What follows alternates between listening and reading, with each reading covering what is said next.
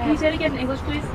there's abuse in these, in these facilities. There's abuse. This was them on their best behavior, and they put them in a room with no running water, and these women were being told by CBP officers to drink out of the toilet. They were drinking water out of the toilet, and that was them knowing a congressional visit was coming. That was this is CBP on their best behavior, telling people to drink out of the toilet. Did you see somebody actually do that?